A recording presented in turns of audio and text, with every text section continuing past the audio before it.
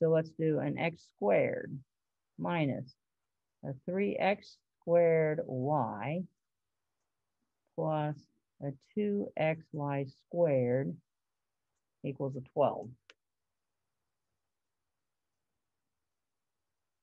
Okay, so the very first thing you're going to do is you're going to tell them you're taking the derivative. So you're going to do d dx.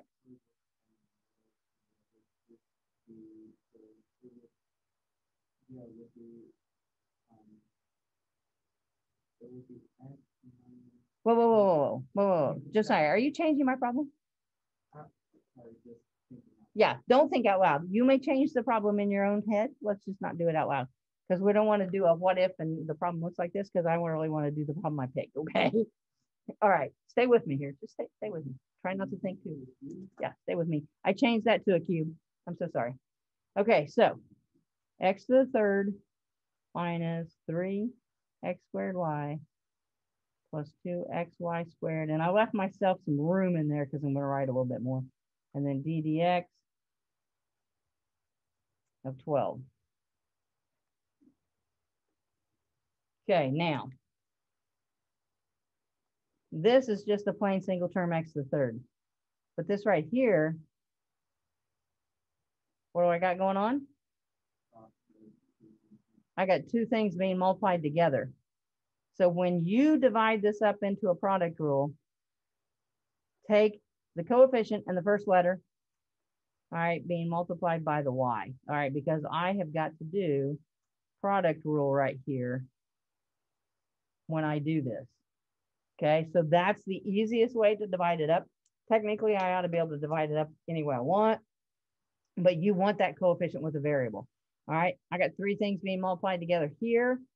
Put the two with that x as your first term, make the y squared your second term so we can do product rule here.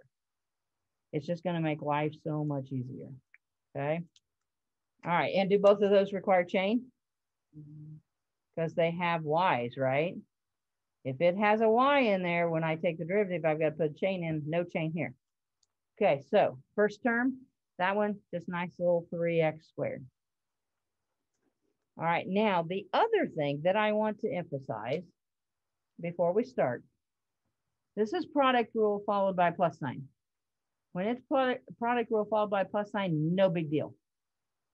This is product rule followed after a minus sign. What does minus signs do with polynomials? They go through and change all the signs, don't they? So this, whatever your product rule is, really needs to be kept in a set of parentheses because I've got to go through and change all those signs. And if you don't catch that, you're going to drop negatives left and right.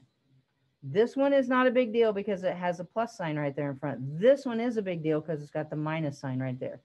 Okay, so I'm literally going to put those in. So I'm going to put my minus. All right, then I'm going to add that square bracket. Okay, now I'm going to start my product rule.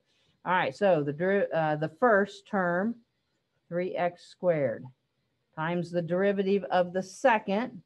Okay, so derivative of y is 1, and then slap in your, uh, your chain, y prime, plus the second term, y times the derivative of the first term, which is 6x.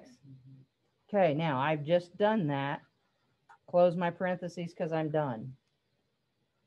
Now we're going to do it again here. The first term, 2x, times the derivative of the second, and it's a y, right? So derivative there is going to be 2y.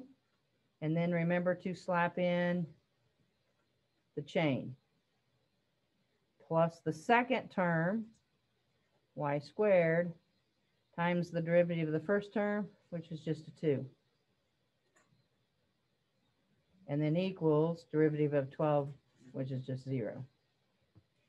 Now I'm going to clean this up and I'm going to change the signs. I do have a tendency to put dots in between everything as when I'm going through there, when I go through and I clean it up, then I start putting things together, coefficients in front, Mm, letters in alphabetical order, that sort of thing. I'm going to distribute when I do that. So 3x squared minus, I'm going to clean this up to a 3x squared y prime. I'm going to distribute that negative. I'm going to pull the six out in front and put it in alphabetical order. So six xy. This term right here, I've got two, two, two, right? Two times two. So I'm going to pull a four out in front. I'm going to put them in alphabetical order.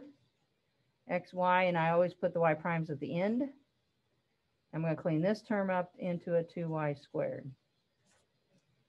Okay, then again, all right, this term with the negative stays on the left. This term stays on the left, but everything else goes to the right, correct?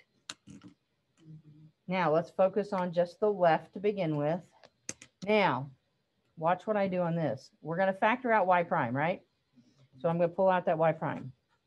Now, this term is negative and this term is positive. Let's write this one first so that I have a 4xy minus a 3x squared. It just cleans the math up. You don't have a leading negative coefficient that way. I can add and subtract things in any order I want, right? So rearranging the terms is no big deal. Now, all three of these, I tend to keep them in the exact same order when I move them to the right-hand side. So all I'm doing is going to change the sign. So I'm going to have a minus 3x squared. I'm going to have a plus 6xy.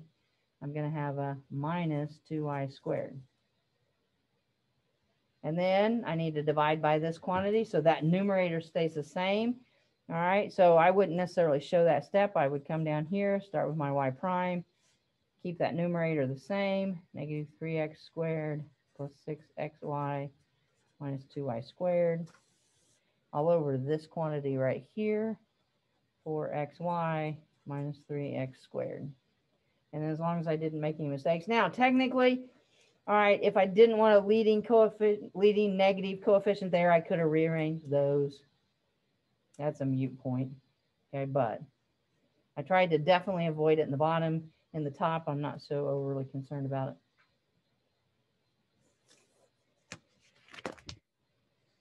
Let's do it with a trig. Let's do it with some trig functions because we know trig functions and we know trig derivatives. So now we got to do it.